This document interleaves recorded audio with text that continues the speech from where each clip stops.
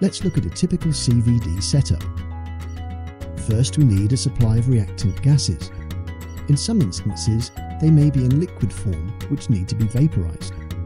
These gas and vapour sources are represented here by gas cylinders and a liquid storage tank.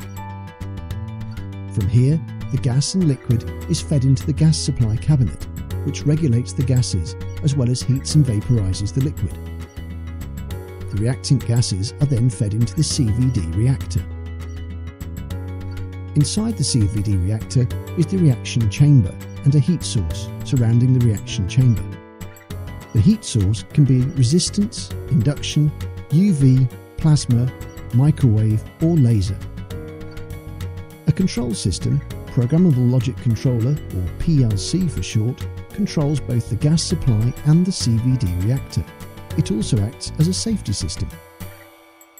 The waste gases from the CVD process are normally drawn out using a series of pumps, which also reduce the reaction chamber pressure to that required for the process.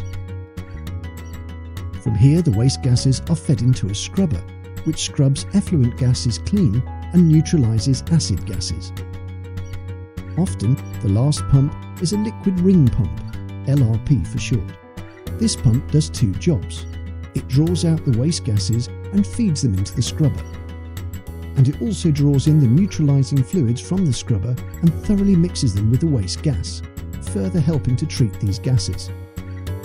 Finally, we have the PC, which is used to input process conditions, monitors the system, carries out data logging, and allows remote viewing of the process.